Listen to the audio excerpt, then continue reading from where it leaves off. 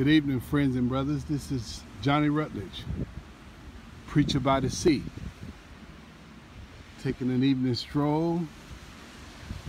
My favorite person in the world, Randy, Dr. Randy A. Rutledge. We coming out to the ocean today, taking a look at what does say the Lord, watching the sun set just enjoying this beautiful evening out in our backyard. We thought it would be wonderful if we just let y'all see what we're doing. Praising and worshiping God down here on the sea. I'm your preacher. This is the sea. God truly has blessed us. So we're doing it like this.